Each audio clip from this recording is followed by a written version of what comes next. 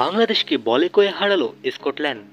ম্যাচের দুদিন আগে স্কটল্যান্ডের কোচ জানিয়েছিল যে তারা বাংলাদেশকে পাপুয়া নিউগিনিয়া কিংবা ওমানের কাতারেই রাখে। নিজেদের সেরাটা খেললে বাংলাদেশকে তারা হারাবেই। স্কটল্যান্ডের অধিনায়ক কায়ুল কেতরজনের কণ্ঠ ছিল এই একই সুর।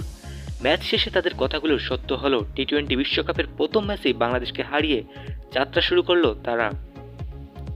স্কটল্যান্ডের দেওয়া একশো একচল্লিশ রানের টার্গেটে ব্যাট করতে নেমে বাংলাদেশ করতে পেরেছে মাত্র একশো চৌত্রিশ রান। ছয় রানের পরাজয় নিয়ে মাঠ ছাড়ে টাইগাররা। এর আগে টসে হেরে ব্যাট করতে নেমে বিপর্যয়ে পড়েছিল স্কটল্যান্ড। ছাপ্পান্ন রানে ছয় উইকেট হারানোর পর সপ্তম উইকেটে একান্ন রানের জুটি করেন ক্রিস গ্রিপস ও মার্ক ওয়াট গ্রিপস আঠাশ বলে পঁয়তাল্লিশ রানের দুর্দান্ত একটি ইনিংস খেলেন। ওয়াট করেন সতেরো বলে বাইশ রান।